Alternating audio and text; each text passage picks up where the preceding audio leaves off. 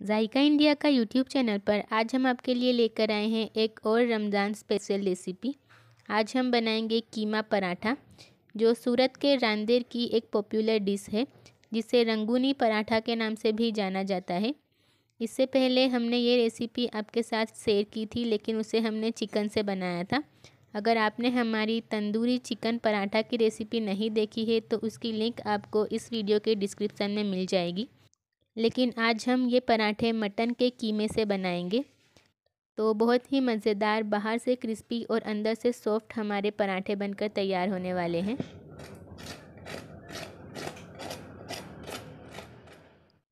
तो सबसे पहले हम पराठे के लिए आटा लगाकर तैयार करेंगे। इसलिए हमने दो कप मैदा लिया है।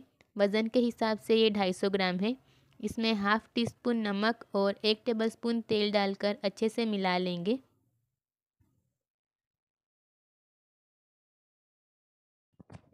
और अब हम इसमें थोड़ा थोड़ा पानी ऐड करते जाएँगे और इसका बिल्कुल सॉफ्ट आटा लगाकर तैयार करेंगे।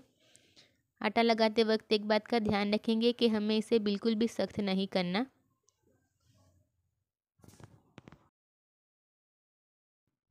तो इस तरह से हम इसका सॉफ्ट आटा लगाकर तैयार करेंगे और इसके लिए हमने एक कप पानी लिया था, लेकिन इसमें से तीन से चार टेबलस्पून जितना पानी बच गया है। और अब हम इसकी सरफेस पर थोड़ा सा तेल अप्लाई कर देंगे। इसकी सरफेस को पूरी तरह तेल से कवर कर देंगे और इसे कवर करके आधे घंटे के लिए रख देंगे। तो वो जब तक हमारा आटा सेट हो रहा है, तब तक हम कीमे की फीलिंग तैयार कर लेंगे। तो हमने यहाँ पर पैन में एक टेबलस्पून तेल गरम कर लिया है और इसमें हम ऐड करेंगे 250 ग्राम मटन का कीमा। तो हमने यहाँ पर रेगुलर फेट के साथ वाला कीमा लिया है और हाई फ्लेम पर हम इसे तेल में फ्राई करेंगे। पाँच मिनट तक हाई फ्लेम पर तेल में फ्राई करने के बाद आप देखेंगे कि कीमे का कलर चेंज होने लगा है और इसमें से काफ़ी सारा पानी भी रिलीज़ होने लगा है। तो इस स्टेज पर हम इसमें टेस्ट के अकॉर्डिंग नमक डाल देंगे। हमने यहाँ पर three by fourth tablespoon यानी कि पौना चम्मच नमक डाला है। अच्छे से मिला लेंगे और अभी भी हमने गैस की फ्लेम को हाई रखा है और हाई फ्लेम पर इसे तब तक पकाएँगे जब तक कि इसका पानी सूखने ना लगे। तो यहाँ पर आप देख सकते हैं कि इसका पानी सूखने तक और इसमें से तेल रिलीज़ होने तक हमने इसे हाई फ्लेम पर पकाया और स्टेज पर हम इसमें अदरक लहसुन का पेस्ट और छोटी हरी मिर्च का पेस्ट ऐड कर देंगे। तो एक टेबल स्पून भर के हमने अदरक और लहसुन का पेस्ट ऐड कर दिया और इसी के साथ हम इसमें ऐड करेंगे हाफ़ टेबल स्पून छोटी हरी मिर्च का पेस्ट अच्छे से मिला लेंगे और अदरक लहसुन की कच्ची स्मेल दूर होने तक हम इसे कुछ देर तक खीमे के साथ मीडियम फ्लेम पर पकाएँगे। कुछ देर तक पकाने के बाद अब हम गैस की फ्लेम को लो कर देंगे और इसमें ऐड करेंगे सूखे मसाले। जैसे कि एक टीस्पून लाल मिर्च पाउडर, हाफ़ टी स्पून हल्दी पाउडर, हाफ़ टी स्पून गरम मसाला, हाफ़ टी स्पून काली मिर्च पाउडर और हाफ़ टी स्पून जीरा पाउडर। क्योंकि हमने इसमें छोटी हरी मिर्च का पेस्ट भी ऐड किया है तो हमने लाल मिर्च की क्वांटिटी कम रखी है। वैसे इतनी मिर्च की क्वांटिटी काफ़ी है, लेकिन अगर आप पराठों को थोड़ा स्पाइसी रखना चाहते हैं तो अपने टेस्ट के अकॉर्डिंग लाल मिर्च की क्वांटिटी बढ़ा सकते हैं। मसालों को हमने कीमे के साथ अच्छे से मिला लिया और इसी के साथ हमने इसमें आधा कप पानी डाल दिया है। क्योंकि ये मटन का कीमा है तो इसे पकने में भी थोड़ी देर लगेगी और मसाले जल ना जाए, इसलिए हमने इसमें थोड़ा सा पानी ऐड किया। और अब हम इसे कवर करके पकाएँगे और बीच बीच में हम इसे चेक करते रहेंगे। तो लो फ्लेम पर इसे तब तक पकाएँगे जब तक कि कीमा जो है वो पूरी तरह कुक ना हो जाए। तो कीमे के पूरी तरह पकने तक हमने इसे लो फ्लेम पर 12 से 15 मिनट के लिए पका लिया है। ये आपकी कीमे की क्वालिटी पर डिपेंड करता है कि इसे पूरी तरह कुक होने में कितनी देर लगेगी। तो इस तरह हमें इसे तब तक कुक कर लेना है जब तक ये पूरी तरह पक ना जाए। और यहाँ पर आप देखेंगे कि हमारी कीमे की स्टफिंग बन चुकी है। हम गैस की फ्लेम को ऑफ़ करके इसे रूम टेम्परेचर पर ठंडा कर लेंगे। तो कीमे की स्टफिंग को रूम टेम्परेचर पर अच्छे से ठंडा करने के बाद हमने इसे एक बोल में ट्रांसफ़र कर लिया है। और अब हम इसमें ऐड कर देंगे मीडियम साइज़ की पाँच बारीक कटी हुई प्याज। तो प्याज को हमने चॉपर में बिल्कुल बारीक काट लिया है। और यहाँ पर हम एक बात का ध्यान रखेंगे कि प्याज को काटने के बाद हम हाथों से निचोड़ कर इसका सारा पानी निकाल देंगे।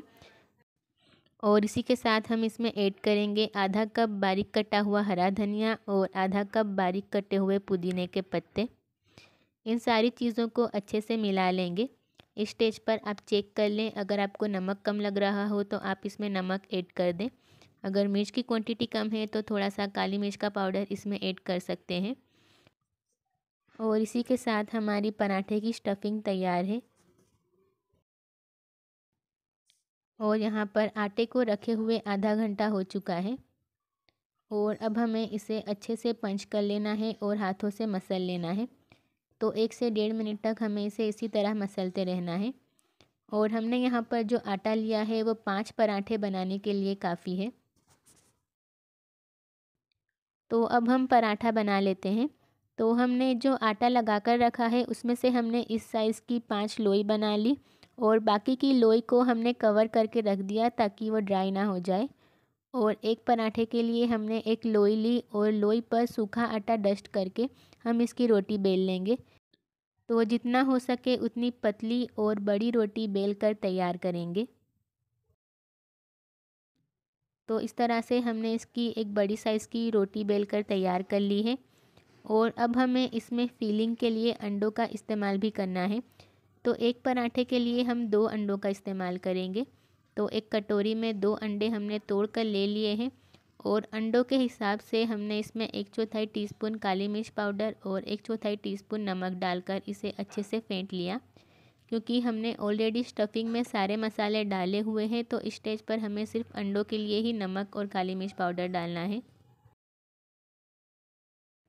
अब हमारी बनाई हुई रोटी पर हमने जो अंडे फेंट कर रखे हुए हैं, उसमें से अंडों की आधी क्वांटिटी ऐड करके इसे हाथों से फैला लेंगे।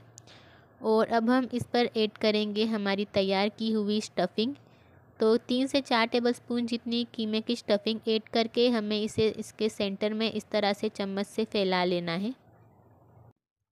और अब हमने जो बाकी का अंडा रखा हुआ है, उसे पूरा हम इस पर डाल देंगे। कीमे की स्टफिंग पर इसे डाल देना है। तो इस तरह से हमने दो लेयर अंडे की और बीच की, एक लेयर कीमे की बनाई है। और इस तरह से हम इसकी किनारियों को सील कर देंगे।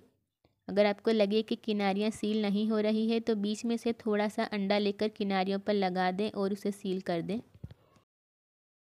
तो इस तरह से हमने एक पराठा बना लिया है और इसे डीप फ्राई करने के लिए हमने तेल अच्छे से गर्म कर लिया।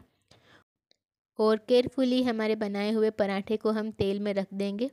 और इसे फ्राई करते वक्त हम गैस की फ्लेम को बिल्कुल मीडियम रखेंगे, क्योंकि हमने इसमें जो अंडा ऐड किया है वो ऑलरेडी कच्चा है। पराठे की जो स्टफिंग है, कीमे वाली, वो तो पकी हुई है, लेकिन इसे हम जब हाई फ्लेम पर फ्राई करेंगे तो अंडा कच्चा रह जाएगा। इसलिए हमें इसे फ्राई करते वक्त गैस की फ्लेम को बिल्कुल मीडियम रखना है। तो एक तरफ़ से जैसे ही ये गोल्डन होने लगता है, हमें इसकी साइड को चेंज कर देना है। और इसके ऊपर की साइड पर इस तरह हम थोड़ा थोड़ा तेल डालते रहेंगे। तो अभी ये दूसरी तरफ़ से सही से फ्राई नहीं हुआ है तो हम इसे पलट कर फिर से इसकी साइड चेंज कर देंगे। और इसे हमें तेल में तब तक फ्राई करना है जब तक कि ये गोल्डन ब्राउन और क्रिस्प ना हो जाए। तो एक पराठा फ्राई हो चुका है, हम इसे तेल में से निकाल लेंगे। और इसी तरह हमें सारे पराठे रेडी कर लेने हैं। तो जैसे ही पराठा रेडी करेंगे, हम उसे तुरंत तेल में डालकर फ्राई कर लेंगे। तो अगर आप पराठे पहले से बनाकर रख रहे हैं तो इस तरह इसे कच्चा पक्का फ्राई कर लें और सर्व करने के वक्त आप इनको पूरी तरह फ्राई कर सकते हैं। तो देखिए कितने क्रिस्पी हमारे पराठे बनकर तैयार हुए हैं। बाहर से जितने क्रिस्पी हैं, अंदर से उतने ही सॉफ्ट हैं। अगर आपको हमारी वीडियो पसंद आई हो तो वीडियो को लाइक और शेयर करें और कमेंट बॉक्स में ज़रूर बताएँ कि ये रेसिपी आपको कैसी लगी। और हमारे चैनल को सब्सक्राइब करके बेल आइकन ज़रूर दबाएँ। फिर मिलेंगे जायका इंडिया का यूट्यूब चैनल पर एक नई रेसिपी के साथ। तब तक के लिए गुड बाय।